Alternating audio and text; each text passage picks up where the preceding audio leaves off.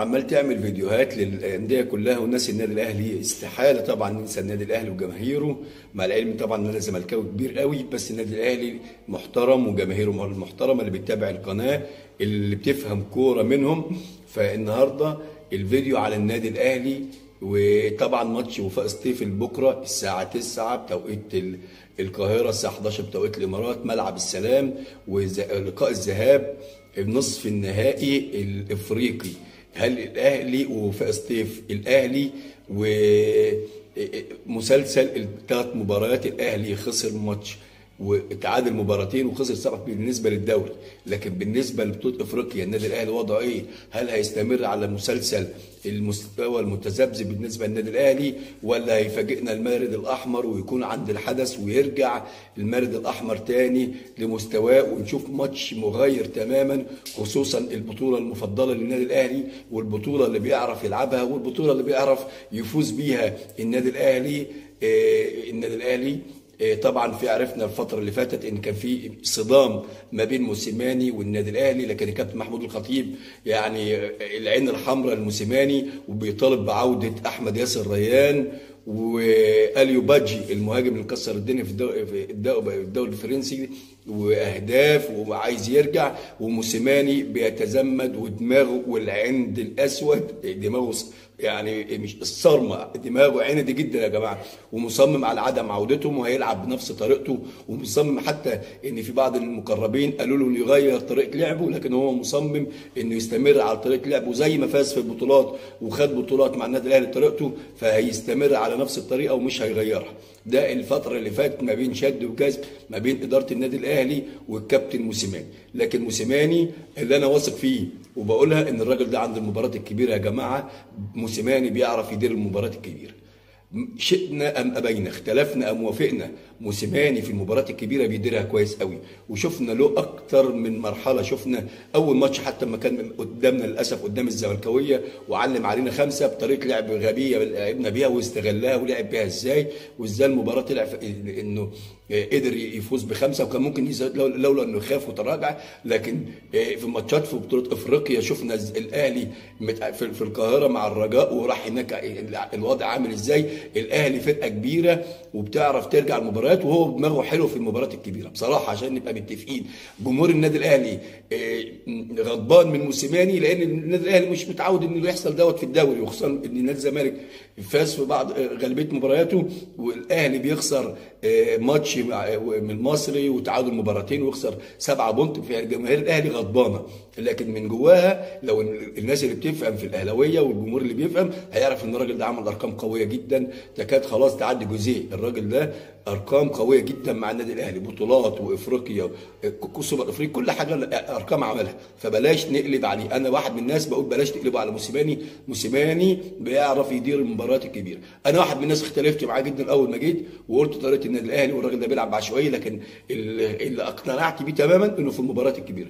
فوفاء سطيف جاي هي هيلعب بطريقة أكيد طريقة معينة اللي هي الدفاع المنطقة الدفاع المنطقة والمرتدات لأنه استحالة يلعب لأن ال- ال- ال- الصعود للمباراة النهائية من مباراتين واحدة في القاهرة ال- في الجزائر. ملعب السلام بيحتضن المباراة إن شاء الله. النادي الأهلي جاهز. أنا واثق فيه إن وفاء سطيف مش هيلعب مفتوح ليه أي فرقة هتلعب مفتوح النادي الاهلي قدام النادي الأهلي هتشيل وتشيل كتير. النادي الأهلي بيعاني أمام الفرق اللي عندها دفاع ودفاع منطقي. النادي الأهلي واللي بيشوف المباراة فعلا من مباراة النادي الأهلي لما الفرقة بتدافع دفاع بحت الأهلي بيتعادل. الأهلي يخطف جول بالعافية.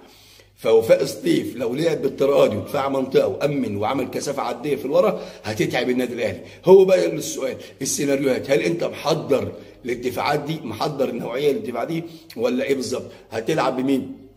هتلعب ببرستاو وحسين شحات ومحمد شريف قدام هيلعب آه، آه، آه، مش هتبدأ بأحمد عبد القادر. خط ظهرك مين هو اللعيبة كلها جاهزين يمكن محمد عبد المنعم بس الإصابة ممكن هو اللي ما يكونش موجود في المباراة بنسبة كبيرة ممكن ما يكونش موجود لكن دفاعات النادي الاهلي موجود ياسر إبراهيم موجود علي معلول موجود ياسر إبراهيم موجود آه، طبعا آه، آه، علي معلول لو ما بيزيد ويلعب ورا تاو هن- هنشوف تاو في ال- في اليمين ولا في الشمال هنشوف حسين الشحات. السلية وديانج قوة ضاربة في نص الملعب. هل هيبقى عندهم صلاحيات هجومية؟ لأن الماتش ده محتاج إنك أنت تهاجم ومحتاج إن أنت تجيب أكتر من هدفين عشان تروح مرتاح. مع إن بقولها أهو في كلا الحالات النادي الأهلي بيعرف يفوز. النادي الأهلي شخصيته بره ولا جوه بيعرف يفوز. أنا عارف إن الجماهير بتبقى قلقانة ومحتاجة تكسب أكتر من هدف في مصر عشان تروح ماتش الجزائر وهي مرتاحة. لكن صدقوني النادي الأهلي كافريقيا وكاستعداد النادي الأهلي هو النادي الوحيد المهيئ في إفريقيا حاليا اللي يفوز بالبطولة القارية ببطولة إفريقيا. النادي الأهلي عنده المقومات قلتها اللي تخليه يفوز ببطولة إفريقيا مرتاح. النادي الأهلي هو منتخب مصر. فمنتخب بيلاعب أندية في الدول الثانية منتخب مصر بيلاعب أندية في المنتخبات الثانية لأن ال- ال- الأندية الثانية دي كلها لعيبتها الجامدين ال- ال- المحليين محترفين بره بره القارة الأفريقية. لكن النادي الأهلي هو منتخب مصر. السوليه منتخب مصر. علي معلول منتخب. منتخب. آه، محمد شريف منتخب. كله كله محمد هاني. كل لعيبة النادي الأهلي منتخبات منتخب مصر يا جماعة. والحارس العملاق وياسر إبراهيم ومحمد عبد المنعم فرقة تقيلة. الأندية الثانية لا مش كده. فأنت عندك خبرات محلية ودولية في دماغ النادي الأهلي في لعيبة النادي الأهلي. بالإضافة إلى موسيماني اللي بيعرف يدير المباراة جدا وبيعرف يديرها بحنكة. وبيعرف يعمل تغييرات تأثر إن شاء الله في المباراة الجاية. المباراة. مش هقولها صعبة لكن هو اللي, مخليها صعبة مستوى النادي الأهلي اللي فات. لكن أنا بقول لكم لا انتظروا شكل تاني المفروض شكل تاني الأهلي بكرة إن شاء الله. وفاء سطيف وفاق سطيف هيلعب دفاع منطقة. وفاق سطيف اللي اللي خرج ال- ال- الترجي اللي شاف المباراة الأولانية الترجي يا جماعة أقسم بالله الترجي أربع خمس انفرادات. اللي هو اللي- للترجي الماتش يخلص في في الماتش يخلص خمسة ستة ستة لل- لل- للترجي ماتش مرتاح. لكن فاجئنا وفاق سطيف في ماتش الجزائر في تونس. فازت على الترجي في تونس. ماتش الذهاب آه، كان في في, في الجزائر. ال- الترجي مبهدل الدنيا مبهدل الدنيا.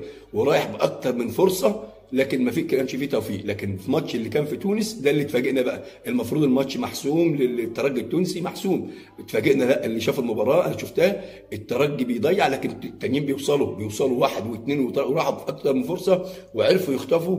لكن دفاعهم نقطة ضعفهم. دفاعهم سهل إن دفاعات النادي الأهلي تخ- لعيبة النادي الأهلي تخترقوا. لكن لو لعبوا تكتل دفاعي وعلى المرتده ده اللي ممكن يتعب النادي الأهلي شوية. لكن اتمنى أتمنى من موسيماني إنه يبدأ بأحمد عبد القادر. أحمد عبد القادر هو كلمة السر وفك الشفرة عند أحمد عبد القادر. أحمد عبد القادر اللعيب الوحيد حاليا في مصر نوعية محمد بركات. اللي بيقف على الكورة ويقدر يجيبك يمين شمال نوعية بن شرقي كده اللعيب الواثق من نفسه وعارف قدراته وعارف إنه هيرقص هي...